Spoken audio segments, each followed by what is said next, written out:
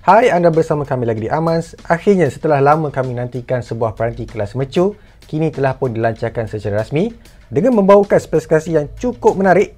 Peranti yang kami maksudkan di sini adalah Samsung Galaxy S20 Ultra iaitu siri baru dalam kategori S yang telah kami bincangkan pada video ura-ura minggu lalu. Mulakan pandang pertama, harus kami katakan rekaan Samsung Galaxy S20 Ultra terasa seperti sebuah tablet yang kecil. Bukan bermaksud ingin memuji kerana besar tetapi Samsung lebih dikenali dengan menghasilkan peranti yang besar dan skrin yang sangat memuaskan untuk melayari social media. Ia membawakan gelas belakang dan depan tetapi bentuk kamera yang sedikit berlainan yang mana kamera belakang yang bukan lagi mendata seperti pendahulunya.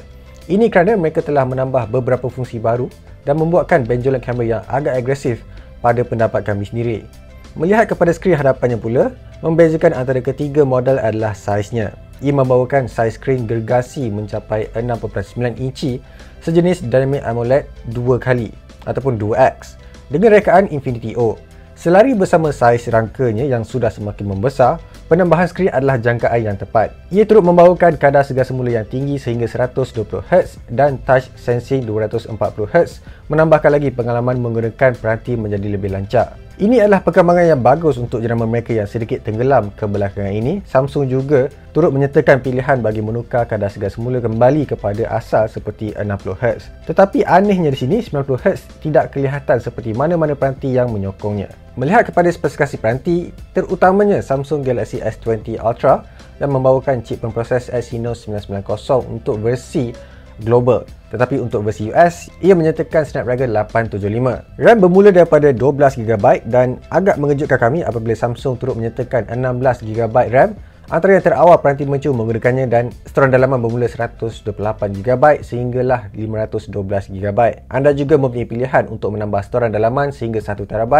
melalui kad microSD. Bergerak terus kepada sistem operasi yang digunakan adalah One UI 2.0 terbaru yang berasaskan Android 10. Ia membawakan antarmuka yang sememangnya lebih dikenali pada peranti Samsung saja yang mana turut menyediakan gesture sama seperti mana-mana peranti yang menjalankan Android 10 dan penambahbaikan visual yang ada pada tetapan serta peralihan pilihan yang lebih tersusun, kemas dan mudah untuk dicari. Antara fungsi yang menjadi perbualan ramai juga adalah kamera yang dibekalkan. Samsung Galaxy S20 Ultra mempunyai empat kamera belakang antaranya adalah 108MP sebagai kamera utama 48 megapixel sebagai kamera periskop yang dapat mengzoom sehingga 10 kali optical, ultra lebar sebesar 12 megapixel dan kamera untuk mengukur kedalaman gambar ataupun TOF. Istimewanya kamera pada peranti ini adalah kemampuan mengzoom sehingga 100 kali yang mana melangkaui apa yang Huawei dan Oppo sertakan pada peranti mereka tahun sebelumnya.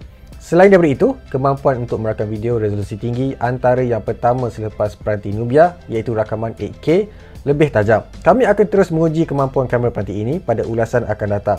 Dengan fungsi yang amat dahagakan tenaga ini, Samsung turut memikirkan tentang punca kuasa peranti iaitu bateri.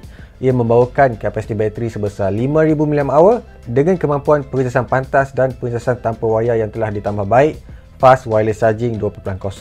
Perkara lain seperti imbasan jari sejenis ultrasonic, imbasan wajah yang menggunakan kamera hadapan dan kebolehan audio secara stereo.